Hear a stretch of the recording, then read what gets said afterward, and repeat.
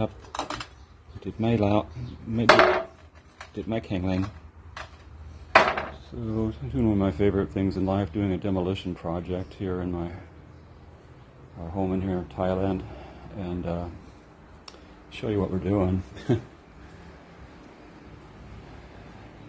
this kind of ceramic tile is very popular. It's fairly cheap, even though it looks kind of luxurious, and. Um, so you can see, I mean, this the bed that they laid for this thing.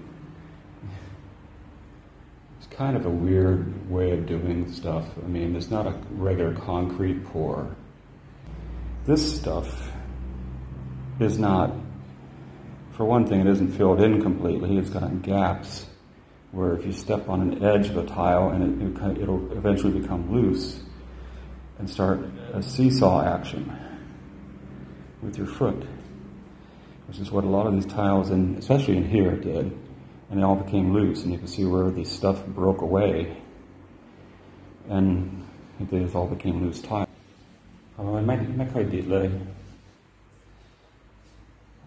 โดยเฉพาะทางนี้ เห็นเห็นว่านี้ไม่สูงเท่ากันเลย ไม่ดีเลย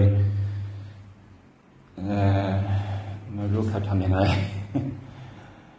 เอาช่างมาดูเขาเขาไม่รู้เหมือนกันไม่เขาไม่เข้าใจเขาทำใครทำอย่างนั้นเดี๋ยวจะให้ช่างมาทำให้เสร็จแต่วันนี้ผมจะเอาเอาออกหมด but man there's still, it looks to me like the tile went in dirty because there's actually this brown, brownish stuff on the tile and here. So it didn't adhere good. That one was pretty good. That was a long, that one actually broke getting, in the process of getting it off. but it was not normal on that end. You can see where it's a different color on that end.